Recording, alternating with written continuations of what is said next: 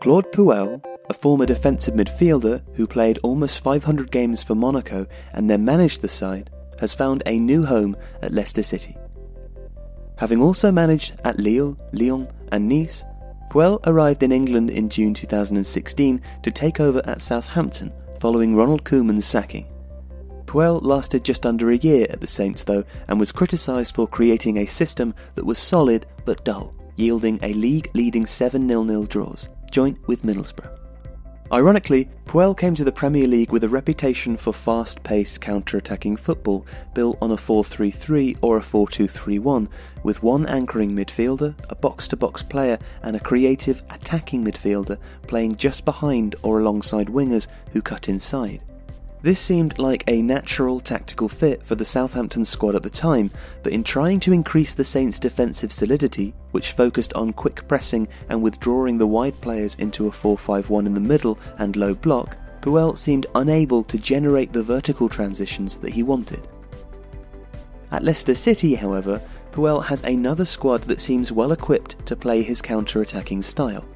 Leicester, after all, won the Premier League in 2016 with the goals and assists of Jamie Vardy and Riyad Mahrez coming often on the counter, with the deep lying passing of Danny Drinkwater and the shuttling cover of N'Golo Kante providing a solid base. Those two players have moved on to Chelsea, but in Wilfred Ndidi, Leicester have a very able and still developing defensive midfielder, while Vincente Iborra provides astute passing and a significant aerial threat going forwards. This works well in Leicester's preferred 4 4 1 1 formation.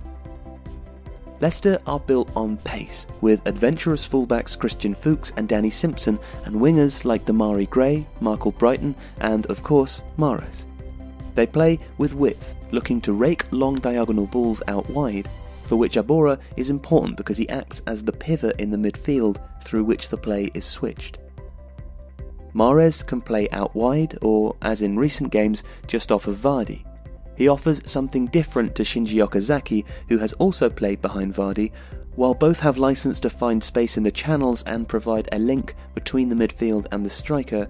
Okazaki tends to hold onto the ball and lay it off to the wide players cutting inside, which works well when Mahrez plays on the right, while Mahrez tends to carry the ball himself. Leicester's aim is always to create overloads in wide spaces at pace before bringing the ball back inside to create shooting opportunities. As such, they sometimes concentrate on one side of the pitch, with the central midfielders playing shifted across towards one side, with the aim of creating space on the opposite flank. This means they have an overload on one flank and space on the other, both of which can afford attacking opportunities, especially on the counter. Defensively, Leicester press less than Puel's Saints, but with the addition of Harry Maguire, the Foxes now have more pace in their back line. This means that the midfield can afford to push up more, with Ndidi sweeping back behind a line of four to screen the centre backs. Once Ndidi or the defensive line have won the ball back, it is quickly shifted wide or to Iborra, who then looks to thread a through ball to Vardy or whoever is playing off him, or to switch the play into space on the wings. It's a relatively simple tactical setup that works well with the personnel that Leicester have at their disposal, and it's a system that Puel is comfortable with too. In short, while Puel may have disappointed at Southampton, he has the tools and the philosophy to get the Foxes back on track playing simple but effective counter attacking football. People often ask us where we get our stats for these videos. Uh, a great place to start is the OneFootball app. The app offers a fairly comprehensive statistical coverage of teams and players in game and post match, so there's a link in the description of this video if you'd like to download it. Thanks for watching.